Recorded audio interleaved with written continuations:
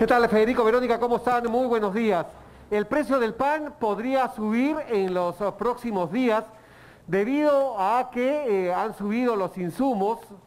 Esto nos dicen que, eh, por ejemplo, la harina de trigo, la manteca, el aceite, ha subido de manera en todo el mundo y además en el Perú se está sintiendo otra alza, que es el alza de las tarifas eléctricas. Y obviamente eh, la mayoría de hornos acá son eléctricos y si sube la energía eléctrica, obviamente va a tener que subir también el precio del pan. Vamos a conversar con Pío Pantoja, quien es presidente de la Asociación Peruana de Empresarios de la Panadería. Don Pío, ¿cómo está? Muy buenos días. ¿Va a subir el, precio del pan? ¿Subiría en los próximos días? ¿Cómo está? Buenos días. Federico, Verónica, muy buenos días. Es una pena que tenga que estar hablando esto de un, de un alimento más rico y más antiguo de la humanidad. Efectivamente, el precio del pan, según el INEI, ya subió estos tres últimos meses 13%. Pero de esa época ahora sigue subiendo los insumos y ahora la electricidad ha subido 4%, que en muchas panaderías hace insostenible poder eh, mantener el precio o la calidad, que ahora lo vamos a demostrar. Perfecto. Mira, eh, Pío, eh, Federico, Verónica, antes de venir acá a la panadería de Pío, hemos pasado en, el camino y he comprado estos 10 eh, panes. Acá hay 10 panes y he pagado 2 soles 80. Yo le pregunté al, al señor que me vendió estos panes si es que habían subido los precios. Me dicen que no, que los mantienen hace tiempo. O sea, vendría a salir 5 panes por más o menos un sol 40. Pío, si yo he pagado 5 panes por un sol 40, ¿dónde está el alza para que el público entienda? La diferencia está en el peso, Gunter. Mira, por ejemplo, ahora te voy a contar el pan que me peso. 10 panes de, de los suyos. 3, 4, 5, 6, 7, 8, 9, 10. Perfecto. ¿Cuánto pesan tus 10 panes, eh, Pío? 10 panes pesa 450 gramos. 450 Ahora el tuyo que tiene 10. A ver, lo que yo he pagado, porque acá hay 10 panes, compañero. Ya.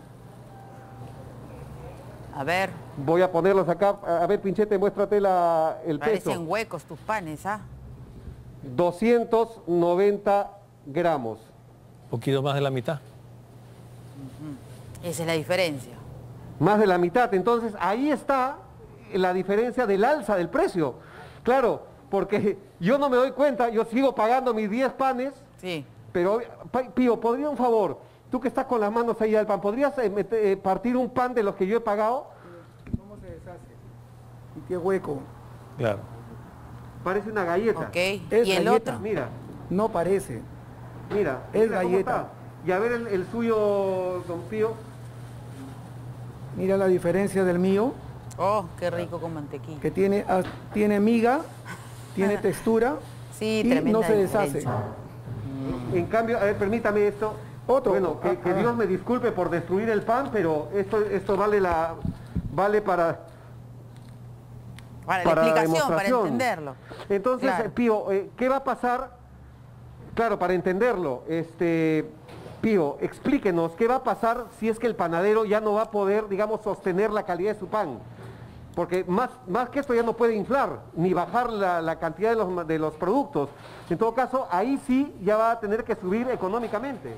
Claro, en realidad ya los panaderos, cuando ya no pueden inflar el pan, es decir, vender aire, y cuando ya no pueden achicar el peso, entonces se van a ver obligados a dos cosas, o a cerrar la panadería como ya hay 4.500 panaderías a nivel nacional que están prácticamente cerrando, y están despidiendo su personal o van a tener que actualizar sus precios y eso implica de que es muy probable que tengan que subir el precio.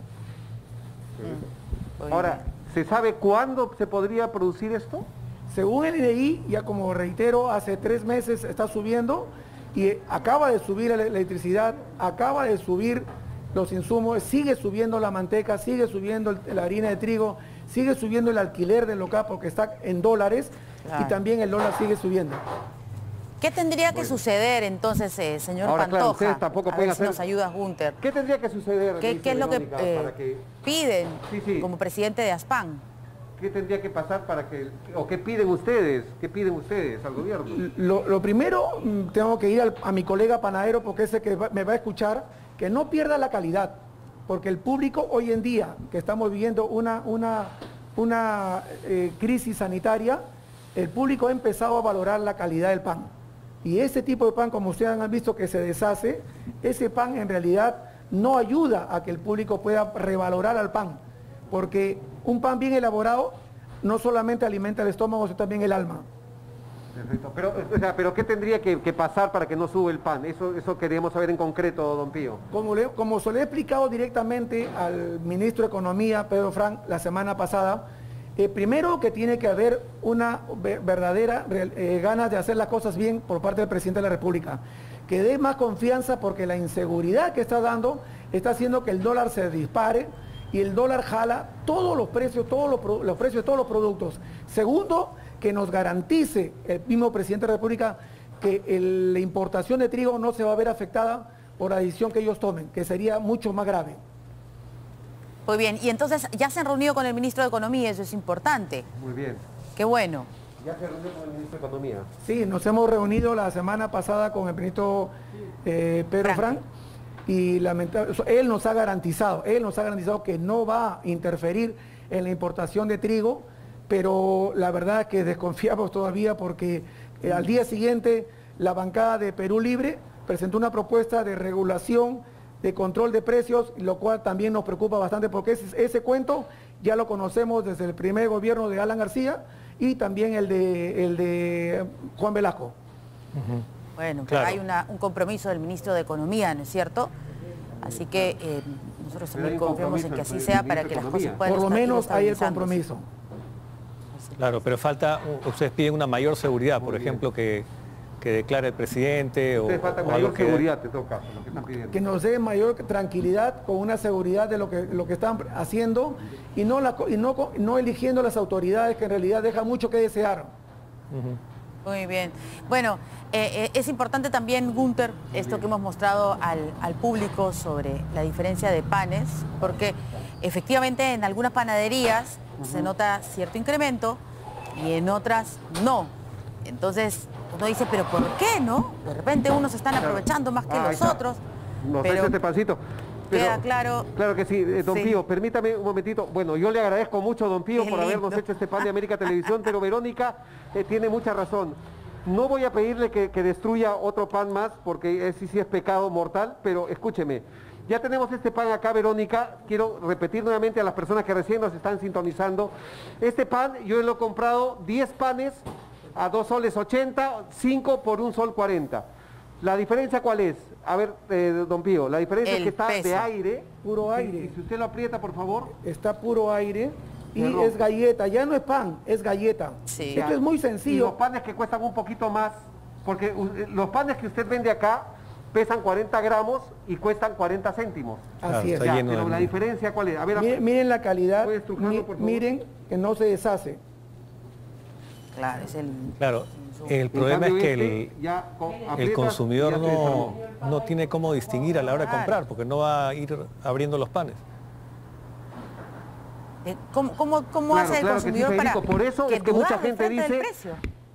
Claro. O, pedir que le pese. Lo que decía Verónica antes de dar esa respuesta, mucha gente lo dice, y los medios de comunicación están exagerando, nada ha subido. No, ahí está la diferencia. Igual yo he comprado 10, 10 panes, pero miren la calidad. Ahora, ¿cómo se puede dar eh, cuenta el público consumidor eh, común y, corriente no va a estar apretando los panes? Pero ¿Cómo se da cuenta la calidad del pan? En toda panadería hay una balanza.